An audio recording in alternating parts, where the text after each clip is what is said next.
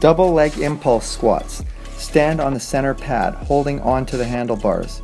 Begin the exercise by holding a quarter squat and then bouncing up and down with mini impulses as demonstrated in the video. There should be no airtime in this exercise, just impulsive movements designed to stimulate bumpy terrain and generating a burn in the quadriceps.